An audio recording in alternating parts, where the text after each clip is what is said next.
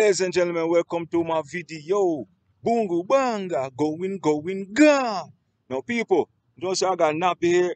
If you watch boys, Buzzer, then say stay nappy till it's over. You know why I keep it so rugged and don't twist it up? Because that pellet shot, and if that pellet shot hit your bum, you better have some hair on your head to bump it off it. You understand? And remember to Yahoo me, S-T-A-Y-F-R-Y-A, Deal Figure Entertainment. I got a list right here after the video what I'm going to do. Look at it.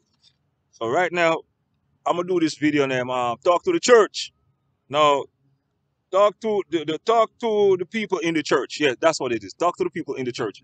Now, in this one right here, is to let you know that um, if you live in a community, right, and you are you're like you're homeless, or you're going through a, a, a family thing, or you break up in a relationship, or something you lose a family member, your daughter left your house, and some ruptions start to happen within your family.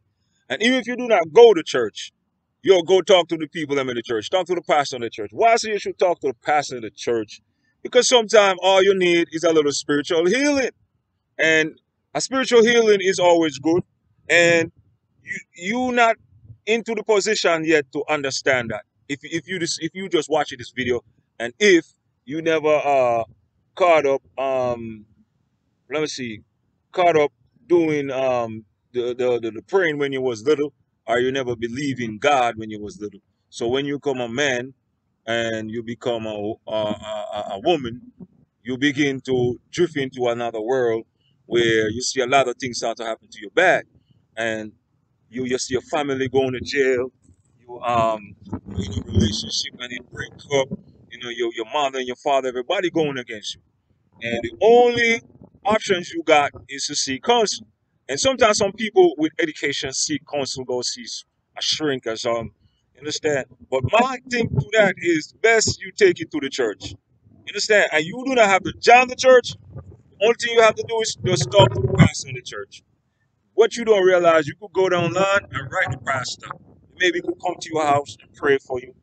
And uh, when I say pray for you, come pray at your house, or they invite you in to pray at the church, or they might invite you to attend the service.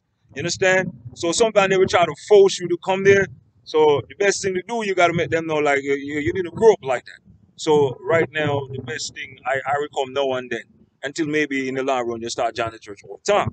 But if you have any type of problem within your life and you're living in a community, there's a church everywhere in, uh, in America. In Jamaica, where I'm from, there's a lot of church. And talk to the church people. You don't talk to the pastor, talk to one of the sisters, talk to one of the brothers. And remember, you got good, you got good church people, and you got evil church people. So you still have to watch how you drink from them or eat from them. So you, when you when you take that road, you don't you don't drop your guard in no form because they say God. Because I see a lot of people um, drop their guard around people because they say God. No, not, not because they say God, you should trust them. Trust no one. You understand? But what you will need is the spiritual cleansing from them. And they have that secret. So if your pastor tell you to do something, you'll do it. If the sister tell you to do something, do it. If they say they want to come and pray at your house, let them come. You understand? And when they come, you know, watch what happen after. And the day you like pray for the first time, you will notice that's a little bit of changes. You know, then, then you know what I'm talking about. So if you have any type of problem within your community or in your household, I keep repeating, you need to like talk to someone within the church. You understand? This is a beautiful background right here, right?